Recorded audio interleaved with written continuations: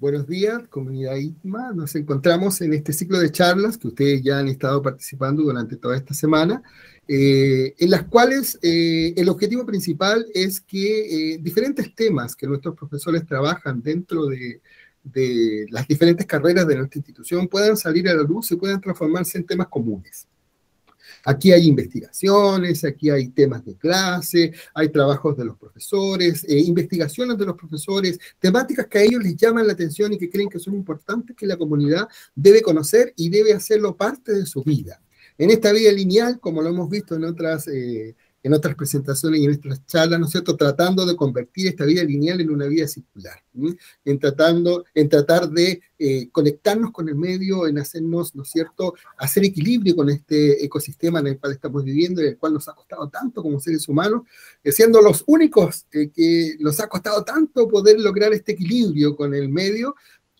surgen tantos temas interesantes. En esta oportunidad desde la carrera de agricultura ecológica, eh, la jefa de carrera, la, profesora Constanza Riquelme, eh, ella es agrónoma y es extensionista urbana y rural en agroecología ha decidido tirar, eh, tirar a la mesa un tema tan importante como lo es el agua. Bajo el título El agua, elemento esencial para la vida, ella va a desarrollar una temática durante esta charla que espero que sea de gran interés y que sea un tema de conversación, no solo con esta charla, sino que en nuestra familia le doy el pase a ella para que pueda explicarnos este hermoso tema. Bienvenida, Constanza. Muchas gracias por la presentación y un gusto también es para mí compartir con ustedes este tema tan importante porque sin agua no hay vida. Entonces, por eso es un elemento tan esencial para la vida humana y no humana. A modo de introducción, voy a, a ver si se cambia. Ya, a modo introductorio, en muchas partes del mundo se está, se está sufriendo un, creciente déficit de agua, eh, tanto de cantidad como de calidad, para satisfacer oportunamente las, necesidades para consumo humano, eh, para las actividades económicas principalmente, y no olvidemos también para mantener la vida de los ecosistemas y la naturaleza en general. Las causas son múltiples, entre las más importantes están el crecimiento demográfico, el aumento vertiginoso de la actividad económica, la agricultura, minería, de la industria, que esto si, si hacemos una sumatoria abarca aproximadamente más del 90% de consumo. La contaminación de las aguas, los cambios territoriales producto de los cambios de uso de suelo y del paisaje, que entre otras reducen la retención del agua, aceleran las descargas hidrológicas y obviamente la creciente variabilidad de las lluvias a consecuencia del cambio climático. El agua tiene un rol protagónico y esencial para la vida y es por ello que desde, hace mucho tiempo está la preocupación eh, por el agua y su gestión y se ha ido reconociendo como un factor determinante para el desarrollo y el acceso de este bien natural como un derecho humano fundamental. Dentro de este mismo contexto, tengo que también señalar como también mujer y en, la conmemoración eh, de un 25 de noviembre, de noviembre contra la violencia de la mujer, las mujeres que defienden el agua están especialmente expuestas a padecer violencia del modelo del mal desarrollo extractivista, que en las últimas décadas ha sobreexplotado los territorios de la periferia del sistema eh, mundial que aún tienen bienes comunes de interés para la empresa extractivista. Esta es una conclusión que surge de la conjugación de dos premisas. La primera es que la destrucción de nuestro ecosistema tiene como una de sus primeras consecuencias la afectación de las aguas, tanto para las enormes cantidades que se aprecian para llevar a cabo los proyectos extractivistas, como la contaminación que estos producen en ellas. La segunda es que la gestión y el uso y la preservación de las aguas es realizado mayoritariamente por mujeres, ya que es parte de las labores de cuidado que históricamente han desempeñado dado el rol que éstas tienen en el marco de la división sexual del trabajo en las sociedades patriarcales. Por lo que si unimos estas dos realidades, nos podemos eh, explicar la participación activa que éstas han tenido en las diversas resistencias por las defensas del agua y con ello porque sus cuerpos están especialmente expuestos a ser campo de batalla de la violencia extractivista. Una de las más dolorosas consecuencias de estas violencias la encontramos en el asesinato de mujeres, que son los feminicidios, que participan de los movimientos socioambientales, indígenas y feministas. Especialmente quiero aquí conmemorar a Macarena Valdés, mujer chilena, defensora también de, de las aguas eh, la reconocida Berta Cáceres, el caso de Honduras, actual eh, Nicolasa Quintremán y el actual caso de Javiera Rojas, que el año pasado fue, fue asesinada. Entonces, es por esto que quiero citar a Berta Cáceres que los cuerpos de las mujeres siempre se convierten en objeto en botín de las transnacionales de estos proyectos de dominación, de opresión múltiple, que no solo es el capitalismo depredador, sino también el patriarcado y el racismo, que, se triplica más cuando son mujeres indígenas o negras. Entonces, todas eh, estas mujeres y distintos activistas eh, han denunciado tanto el saqueo como también eh, las contaminaciones del agua. Y yo aquí quiero compartirles eh, un análisis de agua del norte, especialmente de Calama. Yo ahí con la profesora Carolina Morales hemos estado haciendo una investigación en cuanto a la agricultura del desierto, manejo, cómo hacer un manejo hacer una transición ecológica en los agroecosistemas del desierto y tuvimos que hacer una, em, una toma de muestras de agua. Yo aquí yo quiero problematizar la calidad de las aguas del norte, em, especialmente de las aguas del río de Chiuchiu y el agua del río Loa. Y, y yo lo coloco acá porque es una zona en donde hay, está la industria minera, y es una de las grandes también eh, causantes de las contaminaciones. Entonces, si acá podemos eh, ver con más detalle los niveles de arsénico, los bicarbonatos, los cloruros, el litio, los sodios disueltos y, los materiales y, y los metales pesados que componen el agua, esto afecta directamente los ecosistemas, los agroecosistemas como eh, la vida de, de, los de los seres humanos y no humanos. Entonces, yo aquí quiero, mm, em, quiero también invitar a, profundizar y también a reflexionar que mm, hay mucho que está en boga también em, decir que la, agricultura eh, o la minera, em, los sistemas productivos intensivos, en este caso la minería, eh, no pueden ser sustentables por todo el impacto también que, ellos han tenido. Entonces, quiero empezar a, detallar las repercusiones que, que, el agua, la contaminación, la calidad y la cantidad del agua, como esto repercuten a nivel de suelo, de la microbiología, también de eh, de los bolsillos de los, de los agricultores como esto también directamente afecta la alimentación de, las personas y también de la salud humana. A modo, a modo edáfico, eh, que, que es en relación a nivel de suelo, las malas calidades del agua a nivel de pH afecta la disponibilidad de los nutrientes cuando estos se escapan de los rangos em, entre menor a 5 y mayor a, a, 8 aproximadamente. Cuando estos son puntos críticos bien polarizados, cuando son muy ácidos, cuando son muy básicos, generan una baja disponibilidad de nutrientes y por ende la planta cada vez le cuesta más poder capturar eh, poder asimilar estos nutrientes para su crecimiento y desarrollo. En cuanto a, las conductividades eléctricas, sabemos que, con el paso del tiempo la desertificación cada vez va, a ir avanzando y por ende también eh, aumenta el contenido salino cuando se abusan de, de los fertilizantes sintéticos especialmente y también cuando hay contaminaciones de las aguas.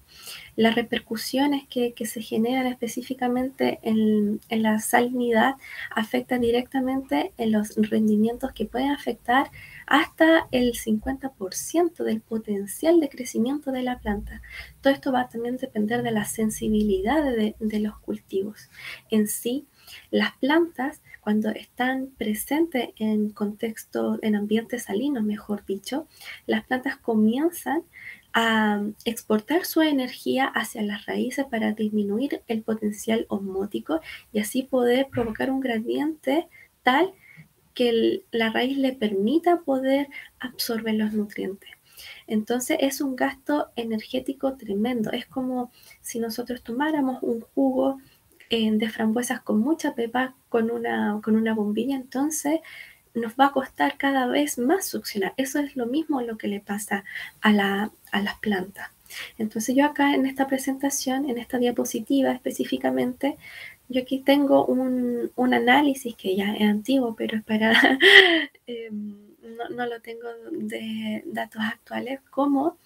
eh, las diferencias de conductividad eléctrica em, de las aguas del valle de Utah, de Arica específicamente, como a nivel de, la parte alta a,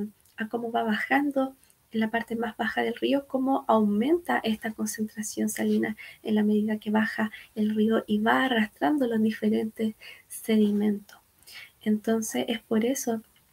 que debemos tener cada vez mayor atención y preocupación de las calidades em, del agua en cuanto a pH, a salinidad, de nutrientes, em, metales pesados, porque todo está interconectado. En cuanto ya eh, desde el punto de vista de estructura, las sales em, lo que generan que cuando entran en contacto con estos complejos de arcilla a nivel como más microscópico,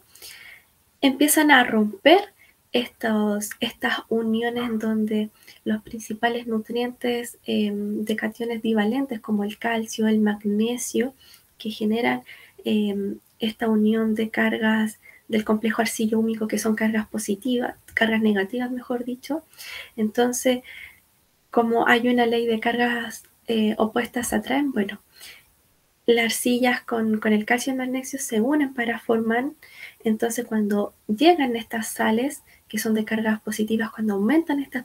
concentración, cuando aumentan estas concentraciones, ¡pum!, disgregan esta, eh, estas estructuras y por ende lo que hacen, eh, generan una pérdida de estructura de suelo, es decir, eh, se rompe esta, este complejo y se unen esta, estas complejos arcillo húmico y va perdiendo porosidad, oxigenación el suelo, disminuye el crecimiento de las raíces porque a las raíces le empieza a, le empieza a costar poder abarcar eh, mayor superficie y por ende eh, se va a sentir mucho más limitada y em, va a haber un mayor gasto energético. Entonces, esto es lo que, lo que está generando eh, las malas calidades de,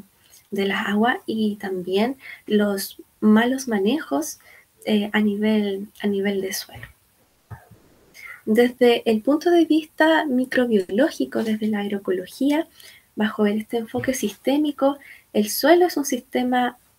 biológico en el que tanto las plantas como los microorganismos comparten la necesidad del agua y nutrientes. Estos deben estar disponibles para asegurar la productividad del agroecosistema. Como habíamos, les había mostrado anteriormente los altos índices de, cloruro, por ejemplo, que es lo que hace el cloro si nosotros usamos el cloro para limpiar la superficie y desinfectar, em, para mantener la limpieza, y inocuidad de, de un ambiente, bueno, esto también pasa a nivel del suelo. El cloro va a afectar la vida microbiológica. Entonces, a través del agua del suelo, los microorganismos eh, se van a ver afectados, dado que a través del agua llevan a cabo sus procesos metabólicos que le permiten retroalimentarse, autoorganizarse y ser autopoyéticos, que tienen la capacidad de reproducirse. Adicionalmente, el agua en el suelo afecta la actividad eh, microbiana por su influencia en factores ambientales como la temperatura del suelo, la aireación, la solubilidad de nutrientes y el, grado de salinidad y, el pH de la solución de, de este suelo. Em, por otro lado, las malas calidades y también el, bajo contenido, eh, la disminución en la cantidad del agua va a generar distintas repercusiones a nivel, em, a, nivel de los bolsillos de los agricultores, especialmente a la pequeña agricultura o la agricultura familiar campesina que son, em, son esenciales em, el, abastecimiento interno de un país y a nivel mundial, que son los principales abastecedores dado que abastecen internamente. ¿ya? Entonces, esta mala calidad em, y, la y, la baja cantidad de, agua producto del calentamiento global y el saqueo hídrico por parte de, grandes corporaciones, grandes empresas, ya sean transnacionales, esto em, eh, más este ambiente especulativo va a generar un alza y ya, ya hay un alza en, los, en los insumos agrícolas, ya sea a nivel de sistema de riego, porque esta mala calidad y lo bajo contenido hídrico va a conllevar eh, sí o sí a cambiar sistemas de riego em, por aquellos que tienen una mayor eficiencia eh, hídrica, como lo, lo es el sistema de riego por goteo. Entonces, esto claramente afecta económicamente a la agricultura. Eh, también toda esta problemática de, calidad del agua va a conllevar a, generar mayor mantenimiento en, estos sistemas de riego presurizado, que, em, que una de, los, de las formas de hacer la mantención es acidificar el agua para neutralizar los bicarbonatos. Los bicarbonatos Em, y otras sales em, van tapando eh, aquellas, aquellos goteros donde sale eh, el agua. Entonces, al taparse, no va a permitir salir el agua por este sistema y por ende la planta se va a ver afectada porque no va a recibir el agua. Entonces, es eh, cada vez em, estas problemáticas va a conllevar directamente a, que salgan al mercado nuevas tecnologías para poder amortiguar toda esta especulación y especulación de, precios, especulación también de, inyectar nuevas tecnologías como por ejemplo para reducir el estrés abiótico que se genera a nivel de planta. Entonces es actualmente una de las formas que, que el mercado eh, está, mm, está sacando productos para poder de alguna forma eh, amortiguar toda, mm, eh, toda esta condición adversa es la incorporación de diatomeas. Estos son diatomeas algas fosilizadas que mejoran la retención de humedad del suelo, como también los hidrogeles, que son mejoradores de humedad. También están Em, aquellos eh, productos para remediar,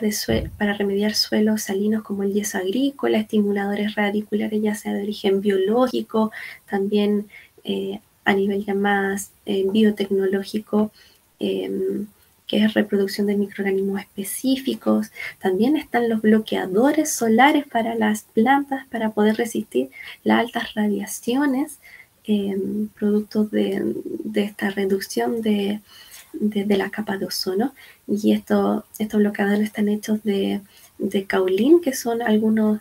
em, son composiciones de, silicatos. Entonces, todas estas tecnologías también em, tienen un impacto porque, por ejemplo, las diatomeas, el yeso agrícola, aquellos estimulantes radiculares de alguna forma eh, vienen de la naturaleza, entonces se genera un, círculo vicioso de, seguir extrayendo para poder resolver estos problemas que se generan a nivel de suelo y de agua. También otra repercusión de los costos de producción es la creación de variedades resistentes o tolerantes al estrés hídrico mediante la creación de variedades sintéticas ya a nivel de laboratorio, como lo es eh, las semillas transgénicas o las semillas em, que están adaptadas em, a ciertas condiciones eh, adversas. De hecho, en, Arica eh, hay, está la empresa de Singenta en donde por estas características de nivel de suelo se, em, se domestican y se le incorporan genes para poder comercializarles y esta comercialización de, semillas o de, o de plantas que vienen con estas eh, y que son injertadas tienen un valor bastante alto para em, asegurar unos buenos rendimientos. Entonces, todos estos paquetes tecnológicos em, afectan em, los costos de producción y por ende aumentan los precios de los alimentos y aquí se genera una problemática de, bueno, quiénes son las personas al fin y al cabo que pueden acceder, que pueden comprar estos alimentos que hoy en día eh, son bastante caros. Entonces, no vale de mucho eh, para aquellas personas eh, que tienen un, bajo un sueldo mínimo, les sale más conveniente alimentarse de, de alimentos procesados que a alimentos naturales porque por un lado los alimentos procesados pueden que alimenten más o más calóricos que, unos alimentos que son de un origen más natural y además quién tiene tiempo hoy en día para cocinar. Entonces también eh, hago esta reflexión porque dentro de, la agricultura ecológica eh, o de las, de las casas de estudio de agricultura ecológica siempre se promueve desde un punto de vista medioambiental de producir alimentos ecológicos, tanto eh, para velar por la salud del ambiente, de los ecosistemas, como también de la salud de las personas, pero yo me hago esta pregunta, bueno, eh, creo que mm, lo más importante es quién tiene el, saber eh, culinario para poder aprovechar todos estos nutrientes de los alimentos, porque en el fondo podemos obtener el mejor alimento agroecológico, pero si lo elaboramos mal o metemos los alimentos al microondas, se destruyen todas esas propiedades. Entonces, eh, es un tema muy, muy amplio. Quizás me, estoy yendo un poquito por, la rama, pero quiero que entiendan el, problema que se genera eh, a nivel de agua, a nivel eh, agroecosistémico y también alimentario. Todo está interconectado. Entonces, esto trae repercusiones en la, en la salud humana. Y volviendo eh, al tema principal al que quiero llegar, al agua, con todo el, desarrollo urbano, el, el, impacto de las ciudades, la agricultura, la ganadería, las diferentes industrias, todas ellas consumen agua, todas, porque habíamos mencionado que el 90% eh, de la industria captura esta agua, pero ¿de qué calidad se devuelve eh, a los ecosistemas? Em, ¿Cómo es esa calidad? Obviamente, em, tiene, va, a tener algún impacto y eso tampoco hay, hay pocos estudios en donde em, se, registran, bueno, cómo está influyendo todo este, todo este impacto eh, antropogénico. Entonces, em, lo, más grave es que eh, estas aguas, al ser infiltradas por el suelo o, eh, y, al, y, al, llegar a las napas freáticas, Em, ahí se acumulan todos estos elementos y, por ejemplo, en la, agricultura normalmente em, se extrae el agua de los pozos. Y quiero aquí comentarles que que pasa mucho que estas aguas vienen de mala calidad, em, ya sea por eh, el tema de los agroquímicos, los agroquímicos eh, especialmente de los, de los herbicidas, em, aquellos bactericidas, fungicidas que, que, los ingredientes activos tienen un efecto residual eh, muy contaminante. Y también señalar que, que la aplicación, las malas programas de fertilización, especialmente los fertilizantes nitrogenados, eh, afecta la, la, salud humana ya que el contenido de nitratos eh, genera em,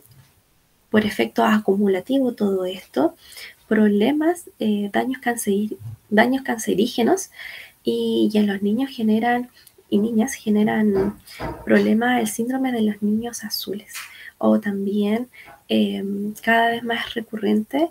eh, las alergias alimentarias producto de las malas calidades del agua que provienen desde, de estas, desde estas napas freáticas, desde esta agua subterránea o desde las aguas, desde superficiales. Entonces, toda esta agua de mala calidad, em, la, unión material que tenemos, em, el ser humano con la, con la tierra es el alimento y el alimento de alguna medida a través de las vacuolas, donde ahí se almacena el agua, eh, algunas sales, lo, lo, agroquímico, eh, a la larga eso nos va a repercutir en nuestra salud y también en, en, en los ecosistemas y en los seres no, no humanos. Entonces es, es, complejo y por eso yo digo que, que sin agroecología no hay salud y vida. Por eso es tan importante una agricultura de base agroecológica para la regeneración de los suelos, la salud humana, los animales y los ecosistemas. Entonces, en la búsqueda de una, de una manera armoniosa de relacionarnos con la, naturaleza, surge la necesidad eh, imperante de preguntarnos bueno, cuáles son los valores de la sociedad en la que vivimos, cómo podemos reaccionar a este avance desmedido sobre los bienes comunes, el agua, la tierra, cómo podemos eh, regenerar el vínculo armonioso con la naturaleza que todavía permite nuestra existencia. Y para dar respuesta a estas preguntas filosóficas, la agroecología brinda una fuerte componente ético en su análisis, lo que permite dar eh, frente a un sistema que colapsa por toda su arista. Una educación con principios agroecológicos busca generar una mirada interdisciplinaria que sea capaz de abordar eh, cualquier problemática que surja en la vinculación que se realiza eh, con el entorno, cuestionando la forma y los disturbios de esa vinculación con el ambiente. Dicho lo anterior y ligado a la eh, a la necesidad de contar con una, una, educación de base agroecológica para la sostenibilidad eh, ambiental, está el deber de dirigir esta educación especialmente a las juventudes eh, y también que esto sea una educación intergeneracional, ya que de, la, de una inclusión económica y social de esta de, eh, depende el relevo generacional necesario para la revitalización de los territorios, ya sea urbanos, rurales, periurbanos, para poder afrontar los desafíos del futuro eh, para la demanda de, los alimentos, porque el alimento es nuestra, savia, es nuestra fuente energética para, para seguir eh, viviendo.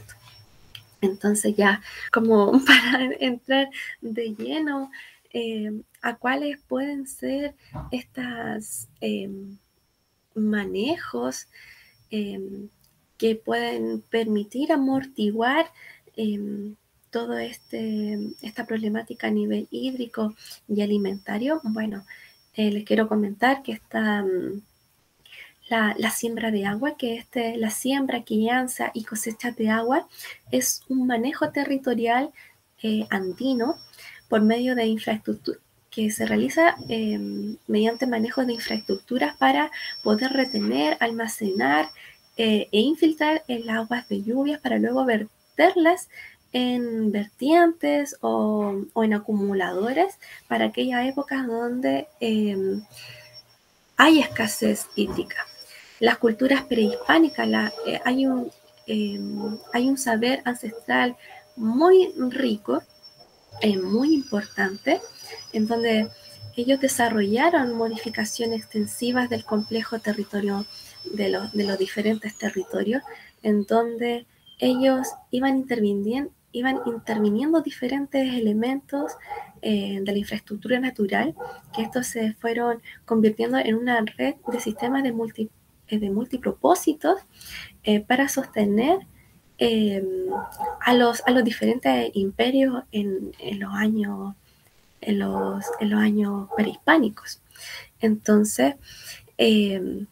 están los conceptos de las yargas o zanjas de infiltración, las amunas o canales, em, están los ocos o em, bofedales, las cochas, las lagunas y andenes o terrazas de cultivo, que fueron algunas de estas estrategias de infraestructura ancestrales para modificar los paisajes, cuyo modelamiento estaba enmarcado en, la en una cosmovisión andina de la crianza o Aiwa, Uiwai, esa, Uiwai, como la que es la, una comunión de todos los seres y dimensiones. Entonces, em, es importante poder rescatar los diferentes, em, no es rescatar, sino valorar y, hacer una mirada al pasado para ver cómo, cómo sobrevivieron estas grandes civilizaciones y cómo podemos tomar estas, estas técnicas para poder llevarlas al presente y poder eh, adecuarlas a las, a las tecnologías actuales y poder paulatinamente ir mejorando las condiciones de suelo em, mediante, em, por ejemplo, uno de, de, los manejos importantes para eh, acumular, para criar eh, el agua es las coberturas de suelo, que esto mejora la salud del suelo porque retiene, em, retiene una mayor humedad, como se ve en la imagen de las botellas, que las coberturas en cuanto al pasto em, evita la lixiviación de los nutrientes versus cuando un suelo está desnudo, en donde ahí se van erosionando em, con con las lluvias, con el sol y, también que va los suelos desnudos al, al, estar en contacto directo con la radiación va matando em, la vida, va, la va compactando, la va secando, entonces es necesario poder em, integrar estas, estos, estos manejos de zanjas de infiltración y de coberturas para poder retener la vida en el suelo a nivel microbiológica y a nivel también desde el punto de vista hídrico. En esta, en esta misma línea eh, es importante encaminar hacia una regeneración eh, agropecuaria o agroecosistémica eh, y esto es mediante un proceso de, se realiza con un proceso de transición un proceso de transición que pueda permitir sustituir las prácticas o insumos convencionales por prácticas alternativas como la estimulación de la máxima biodiversidad, maximizar el reciclaje, realizar un manejo ecológico de suelo y también de plagas y enfermedades, integrar la ganadería, la agricultura, la agroforestería y las prácticas culturales locales también se debe rediseñar el agroecosistema para que pueda funcionar sobre la base de un nuevo conjunto de procesos y relaciones ecológicas mediante la identificación, la toma de decisiones, la propuesta, la programación, la implementación y el monitoreo para ir adecuando todas estas eh, decisiones. Y por último, también debemos, dentro de este proceso de regeneración, debemos restablecer una conexión cada vez más directa entre los productores agropecuarios de la pequeña agricultura familiar campesina y los consumidores específicamente con el objetivo de restablecer una cultura de la sostenibilidad que tiene en cuenta las interacciones entre todos los componentes del, sistema alimentario. Entonces, como para, para ir cerrando y dar también desde un enfoque ecofeminista, em, desde a nivel de los bienes naturales, em, es esencial que el Estado pueda eh, hacerse responsable, el Estado, si bien es la institucionalidad responsable, el cual debe impedir que todas las empresas, ya sean nacionales como las transnacionales, eh, eviten el despliegue de su ilimitado poder, poder, en detrimento de la vida. Con un posible... Em, con un posible apruebo de este tratado, el TPP-11, les asegura a las corporaciones eh, a seguir operando de la misma forma eh, como lo han hecho últimamente. Eh, pase lo que pase, cueste lo que cueste, todo el poder, si esto se aprueba, que es un hecho, ya lo han comunicado, todo el poder va a quedar en manos de tribunales extranjeros con jueces llenos de conflictos de interés. Entonces, las corporaciones van a poder llevar a los estados a, nuevos tribunales cada vez más eh, cada vez que ellos vean afectados sus intereses. Por ende, estos tratados, el Estado chileno perdería soberanía o autonomía nacional y se dificultaría llevar a cabo, eh, llevar a cabo eh, políticas que permitan realizar transformaciones sociales que apunten a una soberanía, seguridad alimentaria y a un desarrollo rural integral. Desde un enfoque ecofeminista, quiero citar a María Mies y Vandana Chiva, que una economía basada en la desregularización y mercantilización de los bienes esenciales para la vida, como lo que es la tierra, el agua, la semilla, el alimento, degrada los valores sociales y refuerza el patriarcado capitalista intensifica la violencia producto de este intento de dominar a la naturaleza y apropiarse de la vida. Los sistemas económicos influyen en los valores culturales y sociales. La economía basada en la mercantilización crea una cultura de la mercantilización en que todo tiene un precio y nada tiene valor. Y con eso yo quiero cerrar mi, presentación de que el agua es el bien esencial para la vida porque el agua está estrechamente vinculado con la producción del, del alimento y los alimentos, las frutas, las verduras, las carnes, eh, los peces, etcétera, es la unión material que tenemos con la naturaleza. Así que espero que le haya gustado y que también los invite también a reflexionar y tomar conciencia eh, para poder plantearnos cómo vamos a sobrellevar de una manera más eh, preventiva y también em, más em, con mucha em, mirada integral para poder eh, abordar las diferentes perturbaciones que se nos vienen en un, en un futuro muy cercano. fantástico, muchas gracias Constanza por tu presentación eh, tan detallada, tan, de tanta entrega y, por supuesto con un tema tan importante como lo es el agua y lo esencial que es ella. Eh, hay una sola pregunta que quisiera hacerte, que tú la tocaste al final de tu presentación, que me parece tremendamente importante, que tiene que ver con las políticas que se tienen que realizar y que tienen que asegurar que eh, el agua sea un bien ¿no cierto? esencial. ¿Cuáles crees tú que serían los cambios estructurales que se debiesen dar a nivel político, me estoy refiriendo, para, para instalar y asegurar y ser garante de que el agua eh, se pueda reconocer como un elemento esencial? Bueno, primero que todo, tiene que ver con un cambio constitucional. Eh, la constitución debe reconocer la tierra y el agua como una fuente de vida, sostén y nutrición que cumple una función social fundamental para la sociedad. Ambos bienes deben ser inseparables eh, para el sustento de la vida y la producción agrícola. Eh, y el Estado debe prohibir la monopolización y concentración de la tierra y, el agua, garantizando su función social. Em, también quiero quiero también extender algunas, algunas propuestas constitucionales que se hicieron desde las bancadas campesinas, en donde ellos señalaban que, parte de este proceso eh, constituyente eh, tenía que haber una derogación del código de agua para desprivatizarla. También en reconocer las distintas funciones del agua con su, con su función ecosistémica, productiva y de consumo humano. Em,